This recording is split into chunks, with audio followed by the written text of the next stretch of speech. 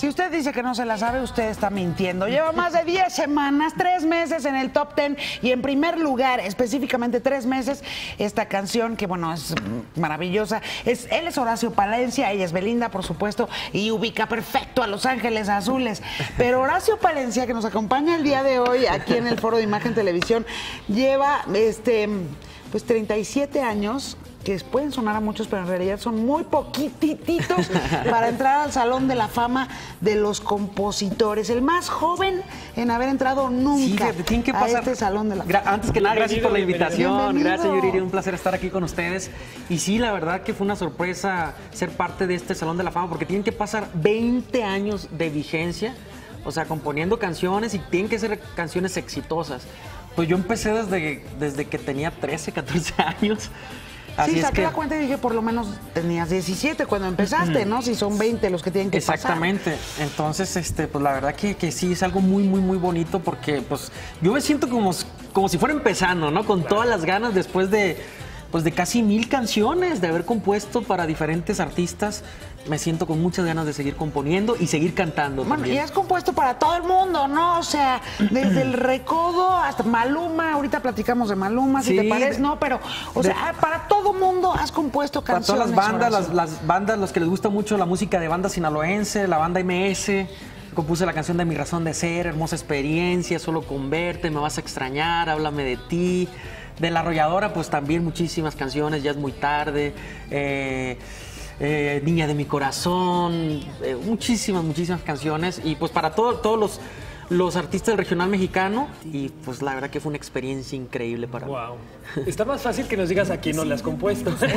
¿A quiénes no? A ver, ¿a quién no le has compuesto? que me encantaría. ¿A quiénes no le has compuesto Hay muchos artistas muy buenos, no sé. ¿A quién le traes ganas, Marc pues? Anthony, este, Luis Miguel, no sé, son, son, son difíciles, ¿no? Pero se vale soñar, como dicen por ahí. ¿no? Ah, no, por supuesto. Y ellos también quieren buenas canciones, así es que también están en la búsqueda de ellas.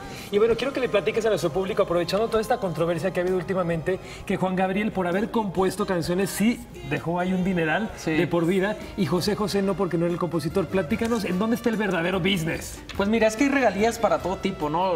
A lo mejor la gente pues escucha una canción, la haces y la vendes. Y no, en realidad la canción es un patrimonio familiar que se queda para toda la vida, ¿no? Entonces en el caso de Juan Gabriel, era un artista que aparte de intérprete era compositor.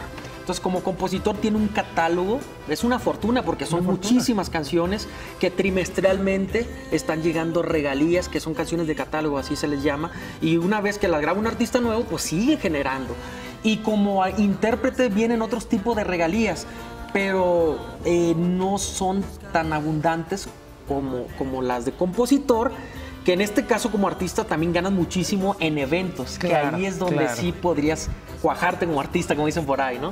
Oye, acababa yo antes de, de que entráramos contigo, Horacio, eh, de dar esta nota que es tremenda, ¿no? 900 millones de views en YouTube, Claro. eh, pero también considerada la canción más machista, ¿no? Claro. La, de, la de Maluma. Claro. ¿Tú cómo ves ese tema eh, de las violencias en contra de las mujeres en las letras de canciones? No nada más en el reggaetón, sino en general en, en general. en la música. Mira, yo compongo canciones de amor y de desamor. A mí no me gusta componer canciones donde se de- denigre a la mujer, donde se hable mal de la mujer, donde igual y, este pues no no es lo que a mí me sale, ¿no? Igual hay, hay artistas o compositores este que les sale muy Sí, bien el eso, desamor, ¿no? el desamor puede ser, ah, me dejaste, te voy a Sí, matar, sí, como- como este- ¿no? O sea, claro. eso también puede ser el desamor, ¿no?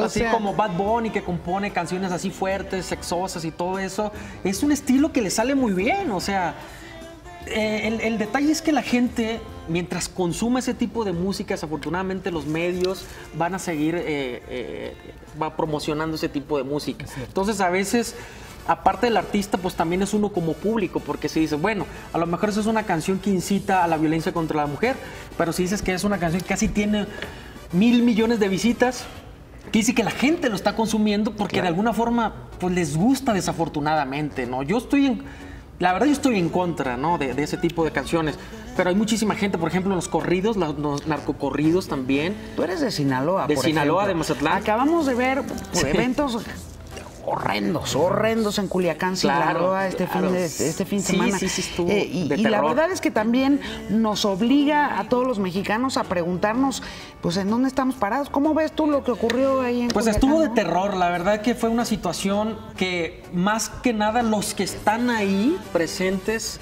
en esa ciudad son los que vivieron ese terror.